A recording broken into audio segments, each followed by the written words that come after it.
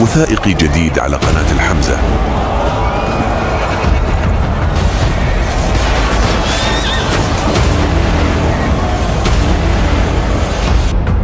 عزيزي المشاهد لا تنسى الإعجاب والاشتراك في قناة الحمزة.